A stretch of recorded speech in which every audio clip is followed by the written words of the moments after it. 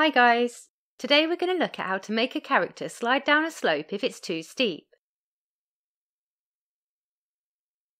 We currently have this scene with a character that can run around and jump. We've covered how to create this scene in the earlier videos of our 3D platformer series, so take a look if you want to know how it was done.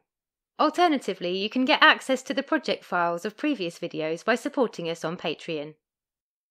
All the relevant links can be found in the description. At the moment, we can run up to a slope and the character controller will then block movement if the slope is too steep. However, there's nothing stopping us jumping up the slope. We can just keep jumping until we get to the top of the mountain. To fix this issue, we're going to make the character slide down if the slope is too steep. Let's stop the game and go to the player movement script to make the changes. The first thing we'll do is add a couple of private fields.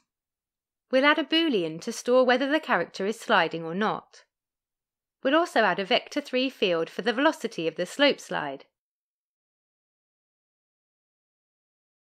Next, we'll add a private method to set the slope slide velocity.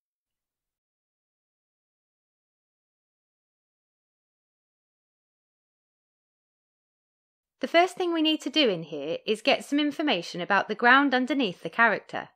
For this, we'll cast a ray down from the character and see what it hits. We'll use Physics Raycast. For the origin, we'll use the position of the character. We'll raise the origin slightly by adding vector 3 up. This will ensure we don't miss any collisions where the character position is really close to the ground. For the direction of the ray, we'll use vector 3 down.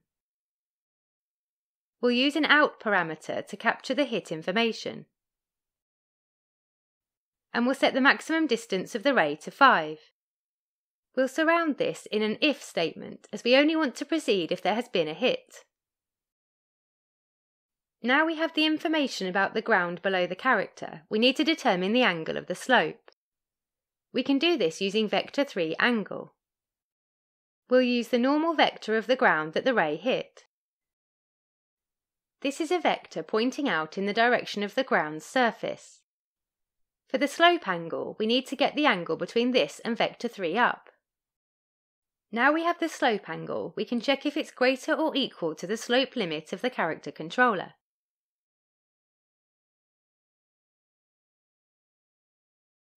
If it is, then the character should slide, so we'll set the slope slide velocity.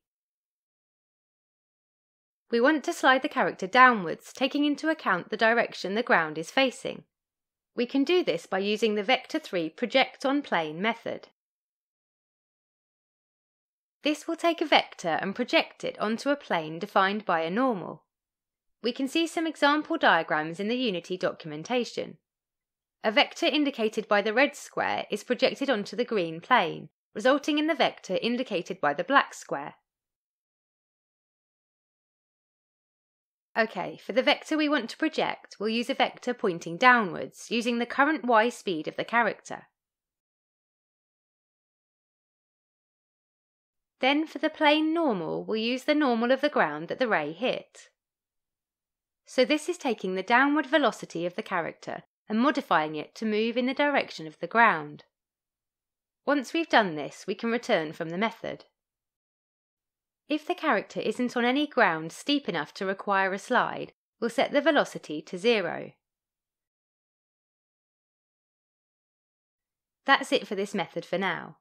We just need to call it from the update method. We'll do this just after we've updated the y speed of the character.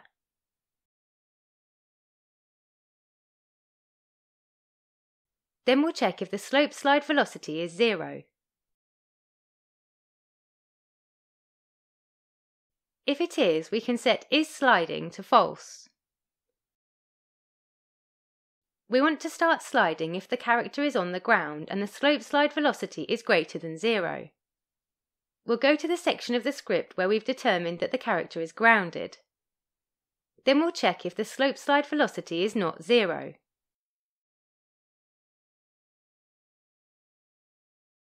If it isn't, we'll set is sliding to true.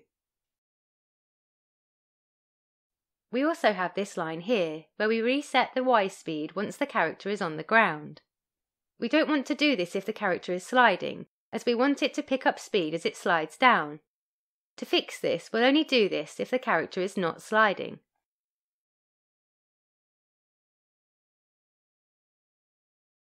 The next thing we need to do is prevent the character jumping if we're sliding. We have this condition that's checking if we can jump. We'll add another check to make sure it's not sliding. Let's scroll down to where we actually apply the movement to the character controller. Here we're handling the movement when the character is in the air.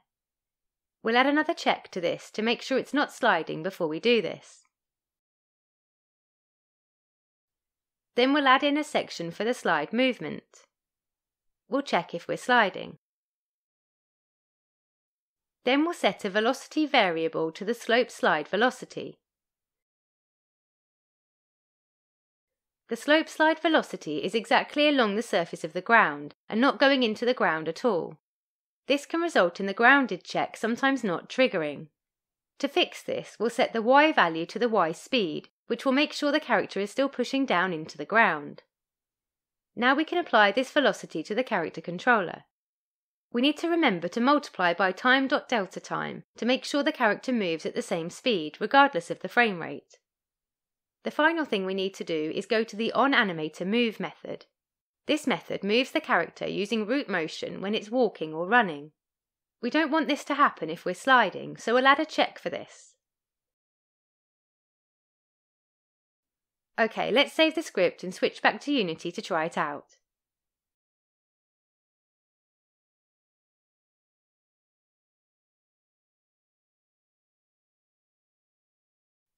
Now if we try to jump up the mountain, we slide back down.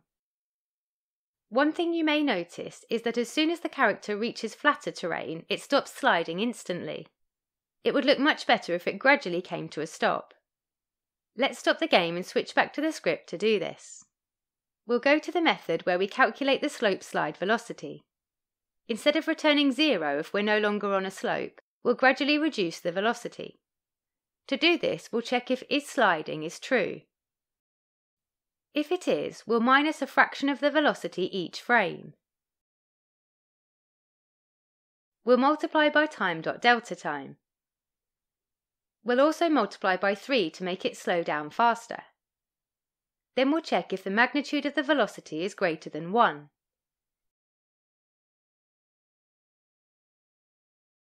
If it is, we'll return from the method.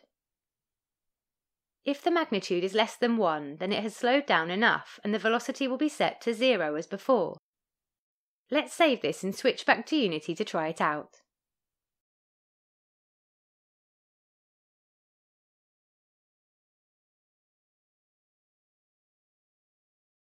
Now the slide comes to a gradual stop and looks more natural.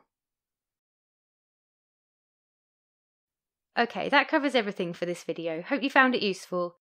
A big thank you to all our patrons, we really appreciate you helping to support the channel.